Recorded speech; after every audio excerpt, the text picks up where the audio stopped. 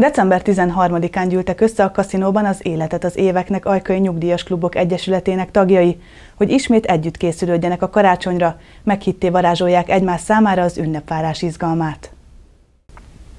Az Egyesületet 24 klub alkotja, amelyek közül minden évben megvannak a felelősei az előkészületeknek, a vendéglátástól a dekorációig, az ajándék készítésen át a lebonyolításig.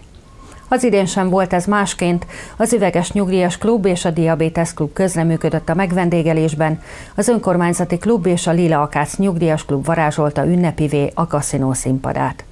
Az időseknek minden évben a karácsonyi rendezvényen ünnepi műsort ad egy-egy gyermekcsoport, hogy ki tudjanak szakadni egy percre az otthoni készülődés sürgés forgásából.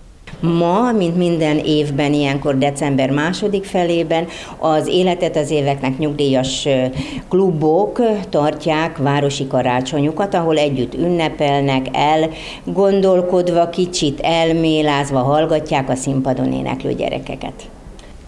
Utasi István, az Oktatási Művelődési és Sportbizottság elnöke köszöntőjében hangsúlyozta, hogy igyekezzünk olyan meghitté tenni az ünnepeket, mint ahogyan emlékezhetünk a régi karácsonyok hangulatára.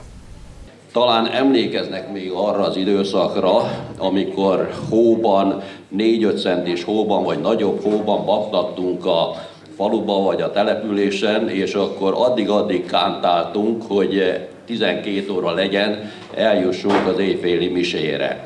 Az éjféli mise után ugye a gyerekek általában hazamentek, az idősebbek azok még mentek, és egy kicsit kortyolták a fehér bort és a teát.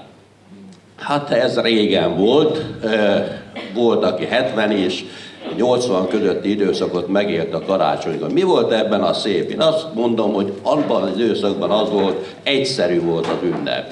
Nem volt ennyi csillogás, villogás, nem volt ennyire fény, inkább az emberek lelkileg élték, vagy közelítették meg az ünnepet.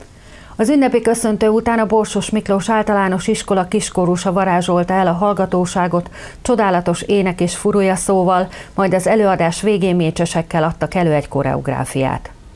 Az Egyesület tagjai az adventi kreatív foglalkozáson készített ajándékcsomaggal köszönték meg a gyerekeknek a közreműködést. Ezen az eseményen nyílt lehetősége az Egyesület vezetőségének arra, hogy kihirdesse a gyalogló világnap versenyben elért második helyezést a nyugdíjas klubok kategóriában, és átadja az oklevelet a résztvevő kluboknak.